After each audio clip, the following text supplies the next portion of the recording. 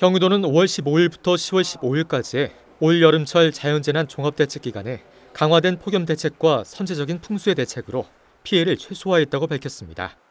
올해는 작년보다 폭염이 일주일 빨리 시작됐고 장마는 29일간 지속됐으며 이례적으로 폭염이 9월 중순까지 장기화되는 이상 기상 현상이 심해지는 경향을 보였습니다.